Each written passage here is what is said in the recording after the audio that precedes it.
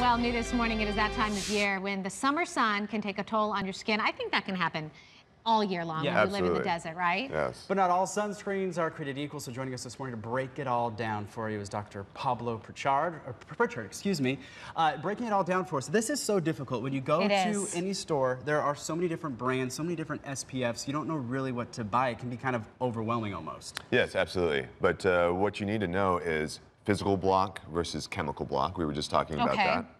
The physical blocks are probably the best. And so those are the zinc-based products. And you know the old-timey surfer nose where you Yeah. get the white, they have micronized zinc. So uh-huh. it's like goes on clear still, but it's a physical block, so it actually reflects the sun off your skin.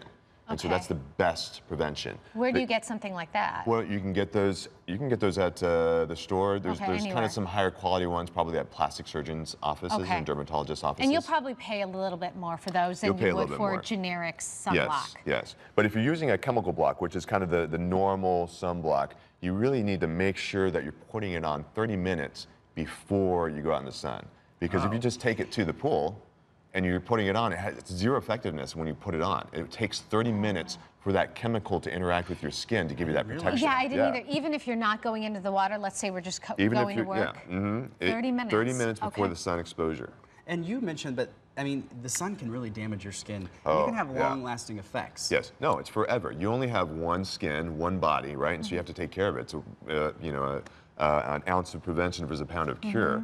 Um, it ages your skin, and it gives it gives you skin cancer, melanoma. The chemical effects that we're talking about that we're a little worried about, is that worse than the damage that you Oh receive no no from no the no skin? no! Don't even worry about that. Okay, so it's the not- damage of the sun is the worst thing you can cause to your skin. Okay, so there are different. I have a, a special block, what I think is a special block for my face. Mm-hmm. Yes. And it's formulated. Is there something different in there than you would find in what you use for your body? That's probably a higher SPF and may have micronized zinc in there. Yeah. Okay. Yeah, and so that's really, really good for the face. Okay. But the, the reason why I brought the shot Yes. glass is because this shows you how much you're actually spe- spe- uh, spe- uh, putting on your body. Throughout the day, not in one no, application. in one application. This is how much you're actually supposed to be putting on your body. Most people skimp.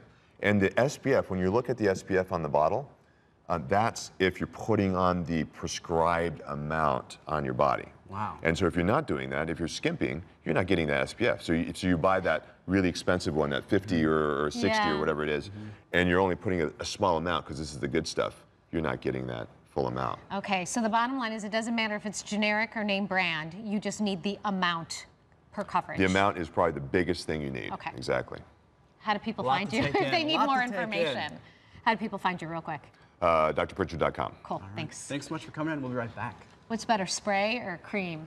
Oh, the cream. The